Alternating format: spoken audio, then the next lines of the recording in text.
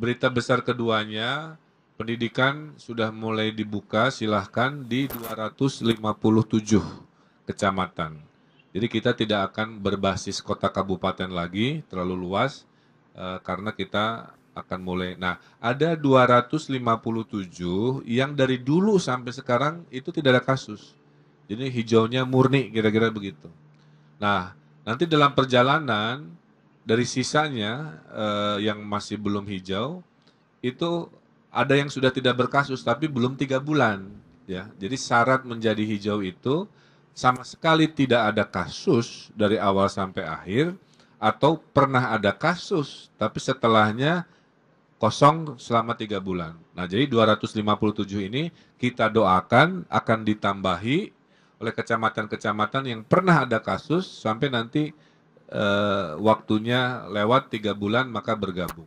Yang didahulukan adalah yang usia logika masih eh, sudah baik yaitu SMA dan SMK ya. Nanti setelah eh, kurang lebih tujuh hari atau 14 hari tidak ada masalah, semua baik, baru level SMP.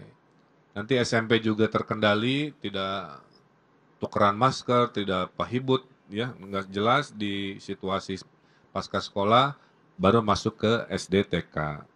Nah, dalam kenyataannya pun nanti kelas dikurangi 50% sesuai aturan, maka nanti ada yang sekolahnya Senin Rabu uh, gantian dengan yang sekolah mungkin Kamis Jumat Sabtu ya diatur.